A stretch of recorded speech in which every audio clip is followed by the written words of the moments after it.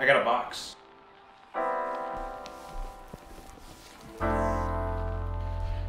So you might be wondering what I got, or it might be completely obvious because it's literally in the title. But that bad boy right there is an absolute beast. So this right here is the ThinkPad P15 mobile workstation. And the people at Lenovo and NVIDIA were kind enough to send this to me. So I'm very grateful for them. But this thing is heavy duty and it is called a mobile workstation for a reason. What's packaged in here is capable of replacing a traditional PC. So you've got a lot of power, a lot of performance, you know, baked into a portable machine. So this machine has a wide range of configuration options, i5 processor, i7, i9, up to the Intel Xeon processor. Same thing with RAM, I think it starts with 16 gigabytes by default, but you can work your way up to 128 gigabytes. The one that I was fortunate enough to get is fully loaded. It's 128 gigabytes of RAM, 4K screen, OLED display, really nice, and also comes with a NVIDIA RTX 5000 GPU. So that's something I'm really excited about. I think, you know, the, the big reason for getting a machine like this for me is being able to do data science work remotely and kind of all on my machine, as well as just video editing and photo editing. That stuff takes up a lot. And for me, it's been really, really challenging, or just not, you know, not challenging, but it's been tough because I have a PC in my basement and it just, I'm spending every waking hour there. So I'm really excited to have something that is a little bit more flexible, a little bit more mobile, that can do that same type of stuff that the PC can. Anyway, let's open this bad boy up.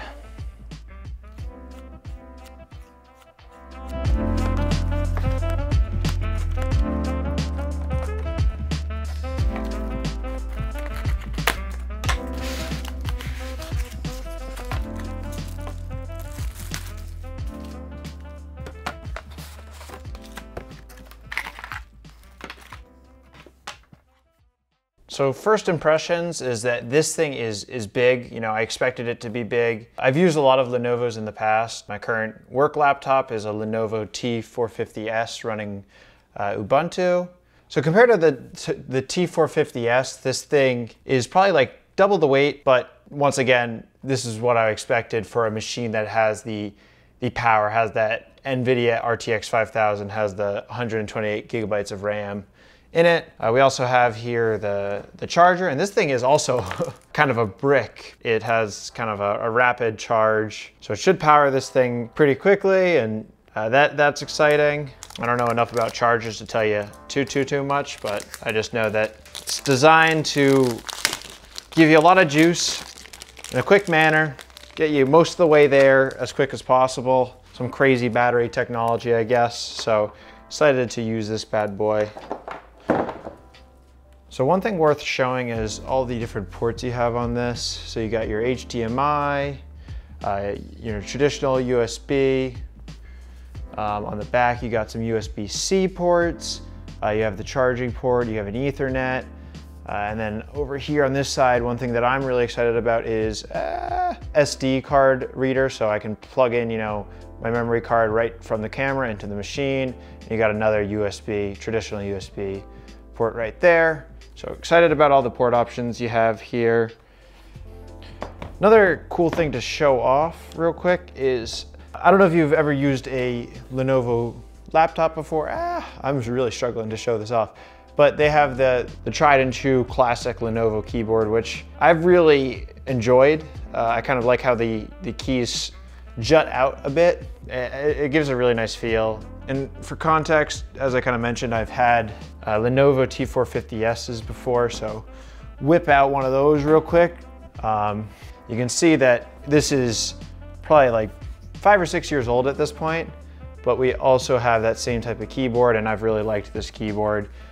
Guess I will try giving this bad boy a good old power on. Look at that, the keys kind of light up.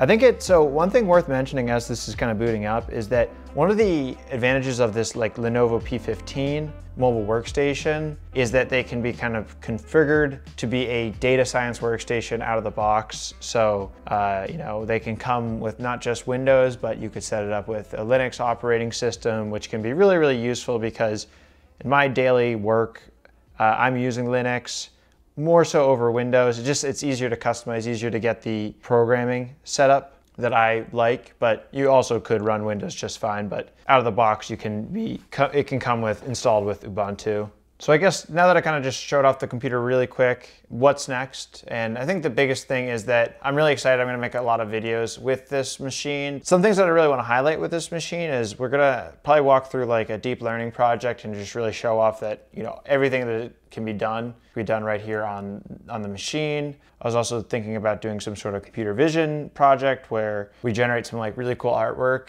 maybe use some intensive tasks, but show that this machine can do it right here and there.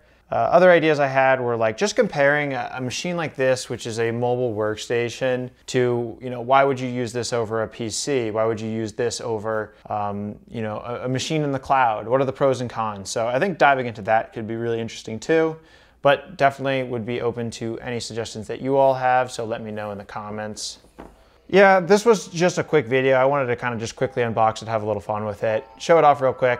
Yeah, really excited to use this machine. Build quality feels really solid. Keys feel good. Everything, you know, pretty excited about it. All right, until next time, everyone, peace out.